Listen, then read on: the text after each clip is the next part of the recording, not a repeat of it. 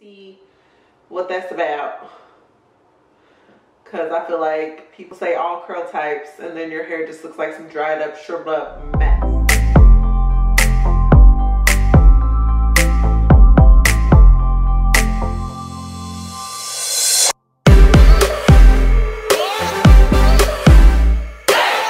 What's up love bugs? Welcome or welcome back to my channel. Today I'm going to be checking out a Ouidad product. I think this is the first time I'm trying out a Ouidad product on my channel. Don't quote me on that because I've been trying out a lot. But I want to say this is the first time I'm trying one of their products out. But before we jump into that, definitely stop what you're doing. Hit that subscribe button and the bell button so you're notified anytime that I do any type of uploads. So today we're going to be checking out the Ouidad Ultra Nourishing Cleansing Oil Shampoo. It cleanses and replenish essential moisture. It's sulfate free. It's for all curl types, so we will really see what that's about. Because I feel like people say all curl types and then your hair just looks like some dried up, shriveled up mess. So this Ouidad Curl Recovery Ultra Nourishing Cleansing Oil retails for $26 or eight and a half fluid ounces. You can pick it up from Sally's Beauty, I want to say. I don't know if they're in Sally's, but I know you can pick it up from Ulta.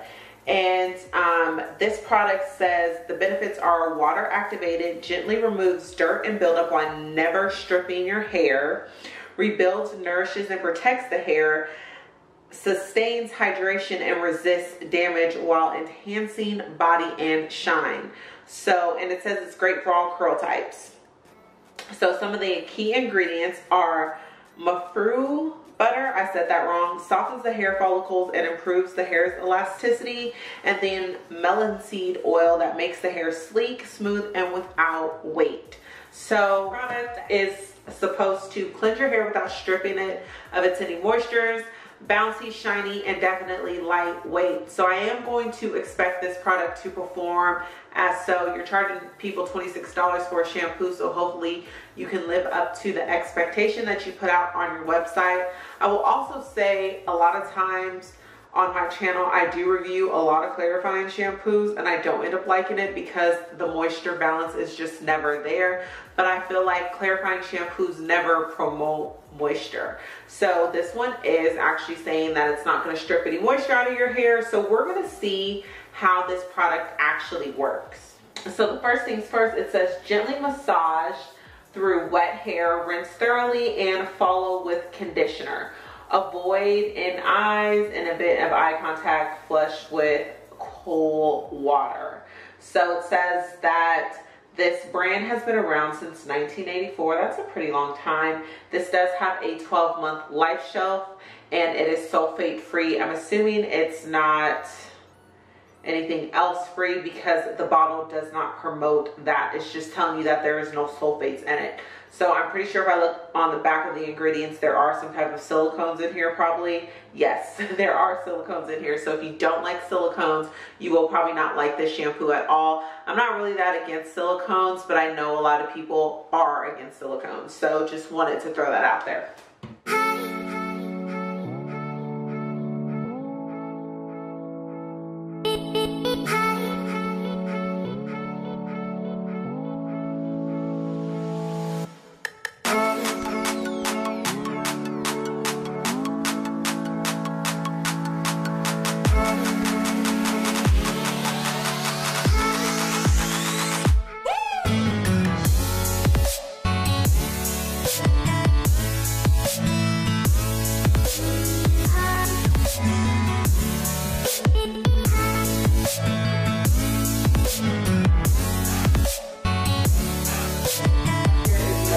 Clean.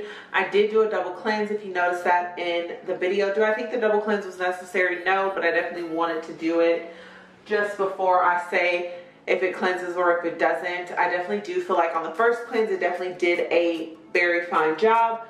I definitely feel like my hair is cleansed. I don't feel like it's dried or stripped of like the moisture. Do I feel like it added any moisture back into it? No. But I definitely don't think it took anything out of my hair that I didn't already have. I also feel like my hair is definitely lightweight. I don't feel like it's any additional shinier than what it than what the bottle claims. I don't feel like it added any luster or anything like that. I definitely don't feel like it defined any of my curls or anything like that. I just feel like it is a a-okay shampoo. It will get the job done. Low porosity girls, if you don't have anything else to find, you can pick this up. Now, do I feel like it's worth $26? I mean, that's to each its own because I feel like natural shampoos are kind of still expensive and the size versus the amounts, eh, it's not that bad. Would I say this would be our first choice? Probably not, but it does do the job. I wasn't like completely sold on it, you know, for 26 bucks, but I definitely will say this, this is not by any means the worst shampoo that I've ever come across. This is no. It's not the worst shampoo. It cleanses your hair. It doesn't strip any additional moisture that you didn't already have in your hair. Granted, it doesn't add anything in it, but my hair does not feel like the Sahara Desert. I will say that. So sound off in the comment section. Let me know if you guys tried anything else from this brand. I will say this definitely does have silicones in it. So if you are not a silicone girl, you won't like this. The slip was bomb on this. The lather was bomb as well. So I will say all that in a nutshell, but everybody has a preference.